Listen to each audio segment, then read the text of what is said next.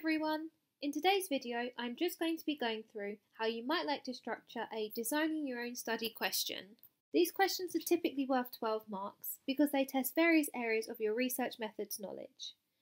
The question I'm going to be going through is from the 2017 paper, so you may have come across it before. However, hopefully you will find that the content within this video is generalisable to other questions of this type. So this first point may sound obvious, but actually before you start to answer the question, you need to make sure you pick out the key words so you know exactly what the examiner is looking for within your answer. And quite a lot of people, including myself at times, don't do this, and that's where easy marks are lost because you begin to answer the wrong question.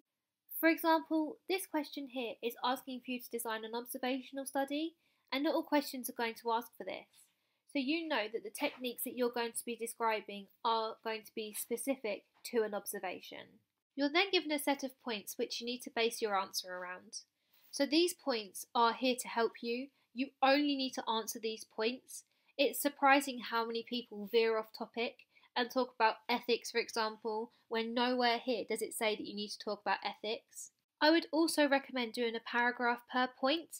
You can even label these paragraphs if you want to, to make it completely obvious to the examiner what you're doing. And then I'd also answer the points in order because not only does it make it clear to the examiner, but it makes it clear to you and you know exactly what you've already done. First of all, this question is asking what type of observation you'd like to go for. You may want to go for a covert or overt observation, maybe even a naturalistic observation. It's up to you, whatever you decide. But the key part here is to make sure you justify why. If you don't say why, you're not going to get all of the marks.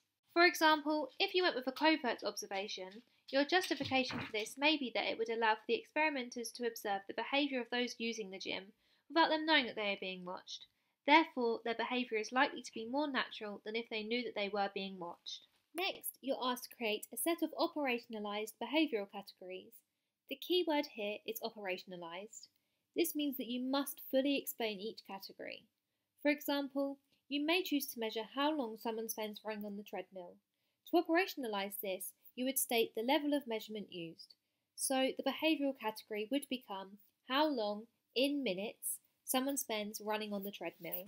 For this bullet point, you should aim for a minimum of two fully operationalized variables, though I personally would give three to be on the safe side.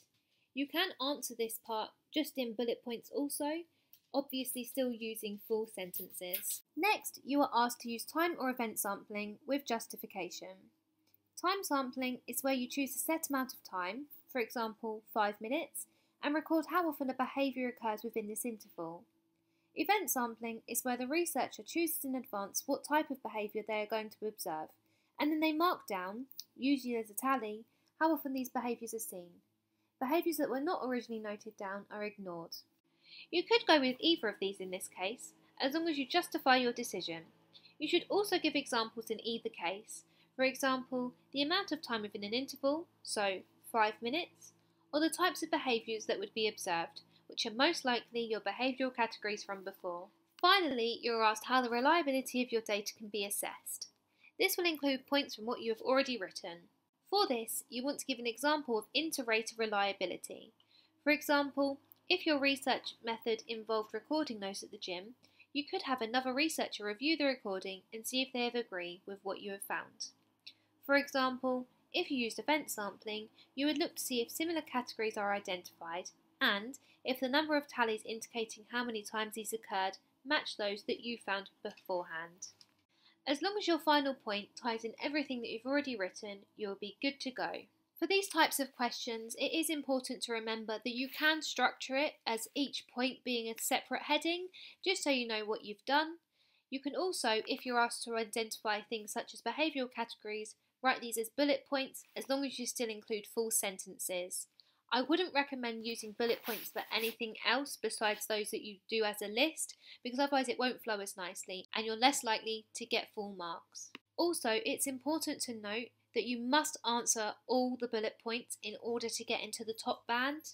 And if you do it well enough, you will easily get into that top band and you can easily achieve 12 marks as long as you stick to exactly what the bullet points say and you don't veer off topic and include any unnecessary information.